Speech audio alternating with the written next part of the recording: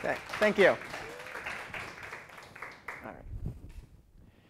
Now, I was originally going to start this presentation with what do X, Y, and Z have in common. But this presentation is about physics. And in physics, everything has something in common with everything else, from matter makeup to fields to the number of dimensions that anything could reside in. So that intro just wouldn't work. So instead, hey, my name is Jeffrey Noseworthy, though I prefer to use the name Gaia, and I'm here to tell you exactly how important physics is. Now, as some of you know, and some of you are about to know, I'm aspiring to become a theoretical physicist. I want to work on ideas that popular media throws around as scientific buzzwords, such as string theory. But ever since I made the decision to become a theoretical physicist, I've been asked the same question time and time again. What can physics do today? Sadly, physics has lost its role of being the difficult but accessible science that used to describe the world around it. Has become this disconnected enigma to the eyes of the public and even many other fields of science. So, I think it's time to change that. Now, we all know how physics described the world of the past. Newton discovered the formulas for motion and gravity, which allowed the entirety of our modern world to move. Oersted and Faraday discovered the formulas or the connections between electric current and magnetic fields, which creates all modern electronics and applications we use today.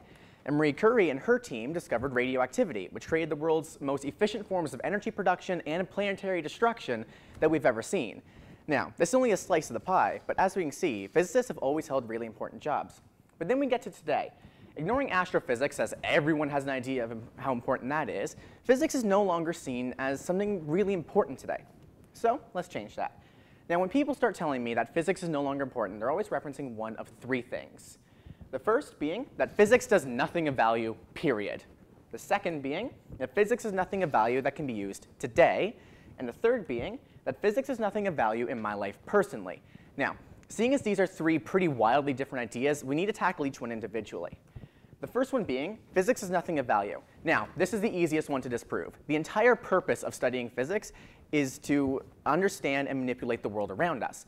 And a good example of this is that even more than 10 years ago, physicists learned that by manipulating the possible multidimensional space we live in, we could bend space in a proper way to travel billions and billions of light years in under a human year or even less time. Right? This goes along with another idea that physicists have made just as long ago, the Dyson sphere. The Dyson sphere is a sphere that we could wrap around a sun very, that will function very similar to our current solar panels. Right? This Dyson sphere would be able to absorb the energy and power multiple civilizations spanning multiple galaxies if we wished, right? And most designs would still allow us to bring light to Earth, right? But even if physicists can theorize technology of the future, that doesn't change the fact we need technology today. So, to help here, we're going to start by discussing superconductors. Now, one of the biggest problems with modern wiring is the fact that as electricity travels through wires, we're going to be losing quite a lot of it due to natural factors, right? The more wiring you have, the more electricity is lost. But discoveries by physicists, more recent and quite a while ago, have found that by cooling wiring down to around zero, um, absolute zero, depending on your material, you could, you could put through up to infinite amounts of electricity at a reasonable pace without losing almost any of it at all. And it's this idea that allows us to create one of my personal favorites, the quantum computer. Now, we've all heard the wonders of, the, of this myth in technology, but what can these things actually do? In theory, quantum computers are going to use possible quantum states, we could call them, in particles that allow them to um, calculate every single possible combinations of zeros and ones at the exact same time. This would astronomically inc increase computing power and maybe, if, maybe depending on how we do it, to allow for the first truly sentient AI. But whether or not that's a good thing, though, that's up to you, right? Though now we know what physicists do today, that doesn't change the fact that we haven't answered the, mo the most important question we could ask, and the one that I'm asked time and time again. What can physics do in my life personally?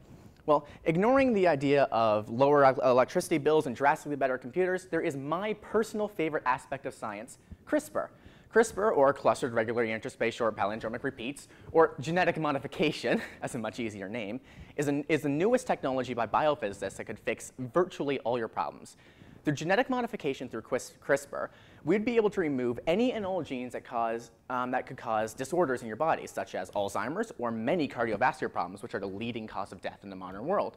Right? We'd also be able to drastically improve your mind no matter what your age is. We could improve your body no matter what your age is. And Well, we'd be able to, to do whatever we need to with humans. Right? And this works alongside another invention of ours, nanotech. Nanotech is currently be being developed by scientists across the world to be injected into one's bloodstream or into their body, which could produce re and release medicine at a proper rate exactly when you need it with zero hassle, zero pain, and without you noticing it. It would be able to stimulate virtually another organ in your body, and we wouldn't even need to go through complicated surgical procedures to do it right? And both of these technologies are relatively easy to access. Nanotech is already used today in the medicine field. And for CRISPR, well, if you have about $500 spare, you'd be able to buy the genes and tools required to actually modify your own genes with CRISPR. And you'd be able to even see a few choice benefits, though not too much unless you really wanted to, right? So that's why physics is important today. Is physics disconnected from the rest of the world? yes, it really is, and it does a terrible job of trying to reconnect itself. But that doesn't mean that physicists are going and screaming about multiple dimensions all day and doing nothing of importance. If you ask me, practicing physics with any degree or any program is one of the most important things you could do. And so that's how I plan on changing the world with physics. The question is, will you? Thank you.